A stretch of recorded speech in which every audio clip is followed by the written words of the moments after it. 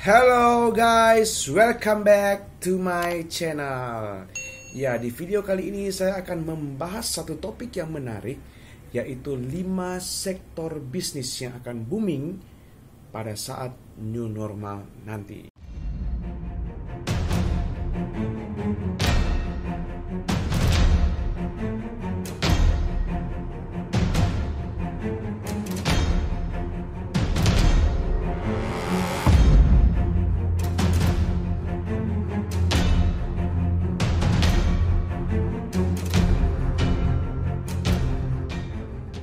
Oke, jadi kita tahu bersama ya kondisi pandemi COVID-19 ini ya begitu uh, merupakan masalah yang begitu global ya. Jadi bukan hanya di Indonesia tapi di dunia.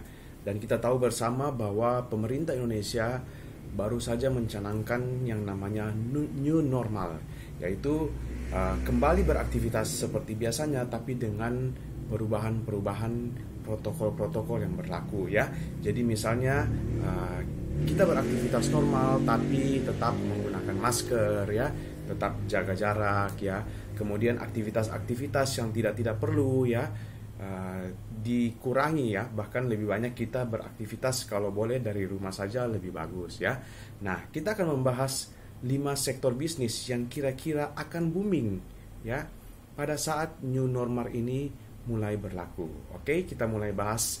Yang pertama adalah bisnis e-commerce. Ya, sudah pasti ini bisnis e-commerce kita sudah melihat juga ya dalam pandemi Covid ini kita sudah mulai merasakan ya di mana uh, semua generasi ya dari generasi baby boomer ya, generasi X, generasi Y, Y dan generasi Z mulai merasakan akan pentingnya e-commerce ya atau belanja online ya Ya, semua kita kita lihat semua kebutuhan dari kebutuhan primer, kebutuhan sekunder, kebutuhan tersier semua sekarang uh, mulai uh, dijalankan secara online.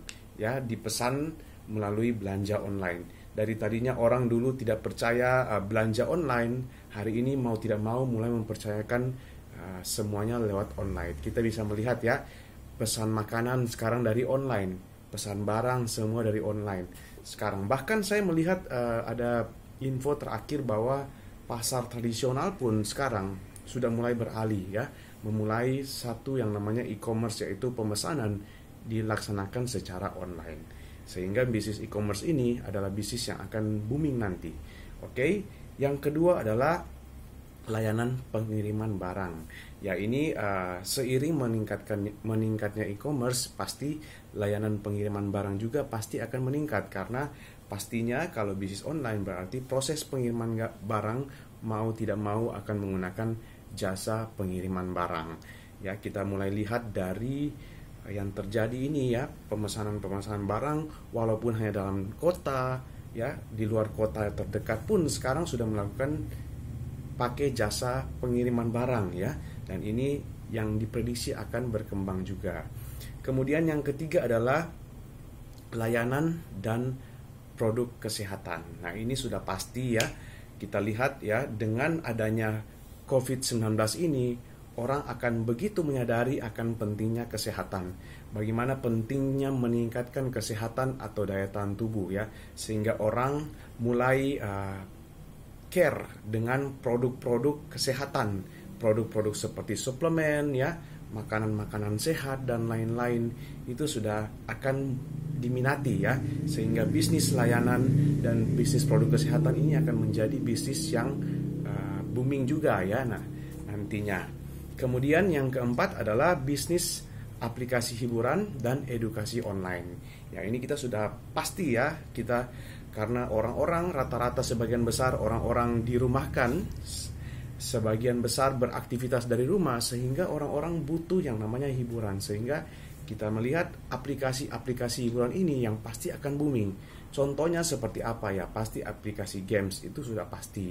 Kemudian aplikasi film-film berlangganan ya. Orang mulai uh, berlangganan nonton-nonton film kemudian musik berlangganan musik ya langganan video kemudian uh, bisa juga ada aplikasi kencan online, kemudian aplikasi media sosial yang pasti juga akan berkembang pesat. Itu dari dunia hiburan.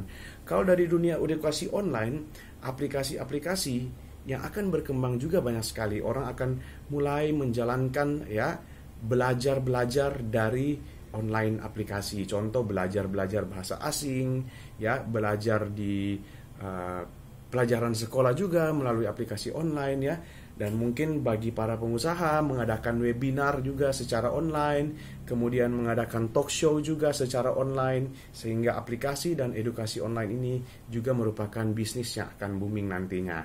Ya, dan yang terakhir adalah software pendukung kerja berbasis e-cloud. Nah, ini juga penting sekali ya. Ini membantu ya orang-orang yang hari ini tetap bekerja ya walaupun masih uh, lebih cenderung di rumah mereka perlu yang namanya uh, software berbasis berbasis komputasi awal uh, komputasi awal atau atau cloud ya. Ya contoh aplikasi atau softwarenya seperti apa ya kita bisa melihat ada nanti seperti marketing online ya absensi online pajak online akuntansi online dan sebagainya ya jadi ini adalah lima sektor bisnis yang akan booming pada saat new normal berlaku dan pertanyaannya apakah Anda sudah siap untuk menghadapi new normal nanti ya.